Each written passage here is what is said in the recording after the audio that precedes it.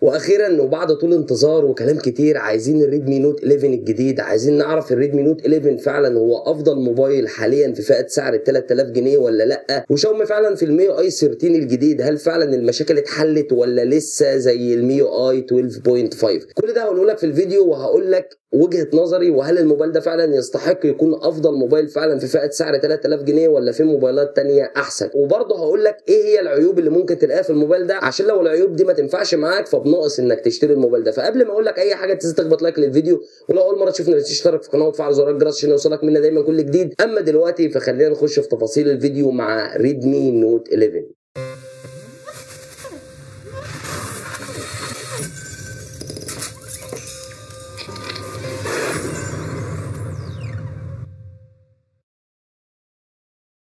أهلا وسهلا بيكم أنا محمد ودي قناة أمك Reviews. وبقالي كده من الآخر فترة بجرب Redmi Note 11 وجاي أقول لك من الآخر كده إيه الحاجات الكويسة اللي قابلتها في الموبايل ده وايه الحاجات اللي مش حلوة اللي قابلتها في الموبايل ده. أول حاجة كده مبدئيا عشان ما حدش يقول لك بقى بيطبل والكلام ده نبدأ بالحاجات اللي مش لطيفة في الموبايل. وأول حاجة مش لطيفة هي نقطة التصميم. تصميم الموبايل يعتبر كويس جدا ويعتبر طفرة ونقلة عن السنة اللي فاتت وفي تغير جذري في شكل التصميم. وعاجبني فكرة الحواف المربعة أو الاتجاه السنة دي بتاع شاومي لفكرة الحواف المربعة زي حاجة زي الآيفون 13 كده لطيفة ومسكتها كويسة ما حسيتش بأي مشاكل معاها. ولكن بقى أنا عندي تعليق كده سلبي على شاومي في نقطة التصميم. ما دام أنتوا أصلا عاملين السماعات الاستيريو عبارة عن السماعة اللي تحت وسماعة المكالمات بيشتغلوا مع بعض لازمتها إيه الإخرام اللي موجودة فوق في ال frame؟ ملهاش أي 30 لازمة. شايف إن هي ملهاش لازمة وحاجة كده موجودة على الفاضي وبرضه بتضايقك في حتة المكالمات. لو أنت بتتكلم أي حد ممكن يسمع صوت اللي أنت بتكلمه واضح ويسمع كل تفاصيل المكالمة.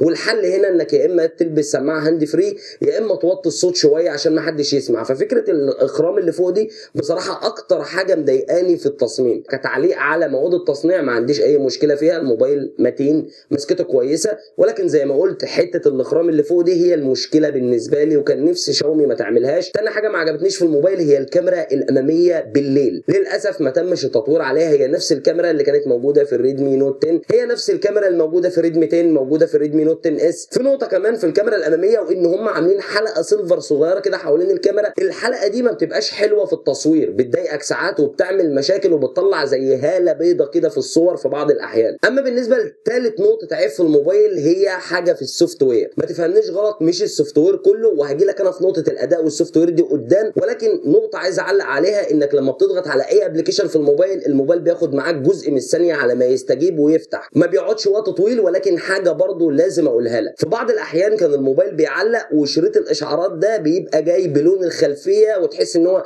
نازل لازق في الخلفية كده ملوش لون مميز لوحده. ولكن لما قفلت الموبايل وفتحته تاني ظبطت. فالحتة دي حتة software أتمنى إن هم يحلوا بعض المشاكل البسيطة اللي لسه موجودة في ال software خلصنا دلوقتي المشاكل بقى. تعالى بقى نخش على المميزات. وهبدأ من أكتر الحاجات المبهرة في الموبايل ده. لأقلها إبهارا وأول حاجة لازم أتكلم عنها هنا هي الشاشة. الموبايل ده بيجي بشاشة 6.4 انش من النوع AMOLED Full HD Plus 90 هرتز. وفعلا الشاشة ممتازة جدا. لو انت بتتفرج على فيديوهات هتبقى مستمتع جدا بالشاشة. واللي أنا أبهرني في الموضوع أكتر وأكتر إن فعلا سطوع الشاشة عالي مش قليل. يعني تقدر تشوف الشاشة دي بدون أي مشاكل تحت إشعة الشمس. شاشة فعلا ممتازة ألوانها ممتازة ال sharpness في الشاشة ممتاز جدا. طبعا بقى مع موضوع ال 90 هرتز الموضوع بيوصل معاك لل level أفضل بكتير طبعا وتجربة أحسن بكتير إنك تشغل ال 90 هرتز مع الشاشة ال AMOLED. بتاخد فعلا تجربة ما بتشوفهاش في موبايلات ب 4 وب 5000 جنيه فمع الشاشة المحترمة اللي هنا مع 90 هرتز مع ال software اللي بقى أحسن كتير عن الأول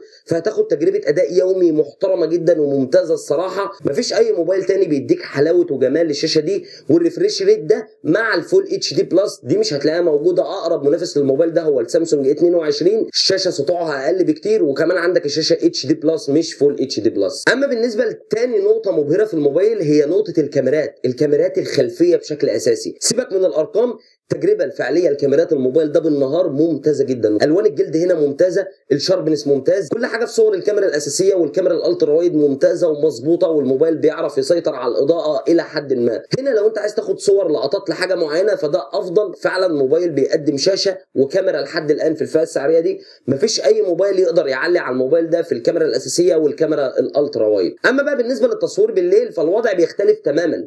هنا التصوير بالليل في أي موبايل في فئة 3000 جنيه ما يعتمدش عليه ولكن الموبايل ده ما زال بيأدي. يعني من الآخر هيأدي معاك الغرض في التصوير الليلي ولكن ما تعتمدش عليه بشكل كبير. دايما خليك معتمد على التصوير النهار. نقطة كمان حابب أوضحها في نقطة الكاميرات قبل ما أسيبها حتة ال night mode ال night mode في الكاميرا للأسف بالليل مش شغال كويس خالص. ال night mode ما بيعملش أي حاجة. فبصراحة بالنسبة للشاشة بتاعة الموبايل بالنسبة للسلاسة في الاستخدام بالنسبة للكلام ده كله الموبايل شغال بامتياز. بالنسبة للكاميرات الموبايل فعلا بيقدم أفضل كاميرات في الفئة السعرية دي. أما بقى بالنسبة للسماعات الاستيريو الموجودة في الموبايل فهي صوتها كويس جدا صوتها نقي وواضح ولكن مشكلتها إن الصوت حاد شوية رفيع. على فئة سعر الموبايل ده الموبايل سعره 3400 جنيه للنسخة ال 464 وسعره 3700 جنيه للنسخة ال 428 والنسخة ال 628 سعرها 4000 جنيه ودي النسخة اللي ما انصحش بيها تماما. لو انت عايز تجيب الموبايل ده تركز على النسخة ال 464 أو ال 428 عشان المعالج اللي هنا من الآخر 680 معالج ما يصلحش يكون في فئة ال 4000 جنيه. وبما إني جبت سيرة المعالج فتعالى ما أكلمك عن تجربتي مع معالج سناب دراجون 680 مبدئيا كده بالنسبة للأداء اليومي زي ما قلت لك الموبايل أداؤه فعلا ممتاز. الموبايل سلس شغال معاك بامتياز في الأداء اليومي.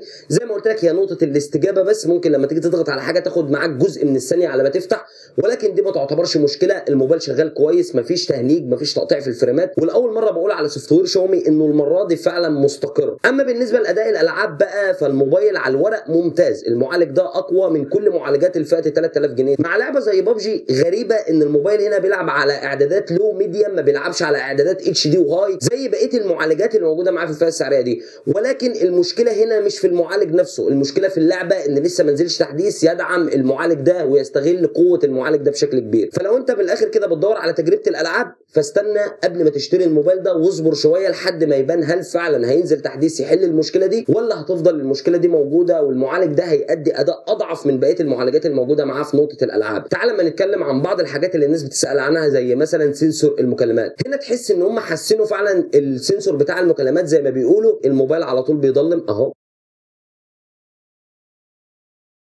هنا ال sensor شغال زي ما قلت كويس جدا لحد الآن ما واجهتش فيه أي مشاكل ويعتبر أفضل بكتير من ال sensor الموجود في البوكو إكس 3 NFC أما بالنسبة لنقطة الشبكات بقى عشان في ناس بتسأل كتير في الموضوع ده فشبكة الموبايل هنا متوسطة.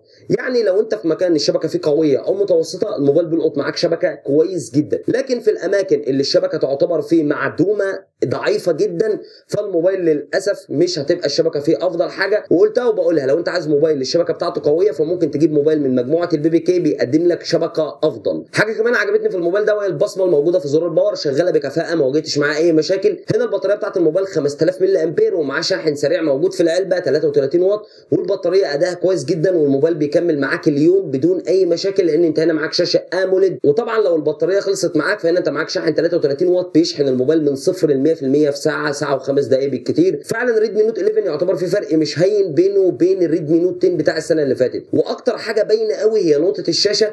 نقطة الكاميرات الكاميرات أفضل شوية عن الريدمي نوت 10 وكمان عندك ال software استقر جدا وبقى أفضل بكتير وبقت التجربة أحسن بكتير. من الآخر كده وعلى بلاطة مفيش أفضل من الموبايل ده حاليا ممكن تشتريه. إلا بقى لو أنت مش عاجبك بعض العيوب اللي أنا قلتها فالموبايل ده للأسف مش هينفعك. ولكن من وجهة نظر الموبايل ده لحد الآن هو أفضل موبايل كشاشة كألوان كاميرات وصور بتطلع من الكاميرات كأداء الموبايل أداؤه فعلا ممتاز ويقارن بكل الموبايلات الموجودة معاك كاستخدام يومي. نقطة الألعاب بس هي اللي عندي تعليق عليها. لو أنت بتدور على موبايل لل gaming فاصبر شوية وما تتسرعش وتجيب الموبايل ده لما نشوف فعلا هل تحديث هينزل يحل المشكلة دي ولا لأ. ولكن بقيه جوانب الموبايل فعلا الموبايل بيأديها بامتياز. وبس كده.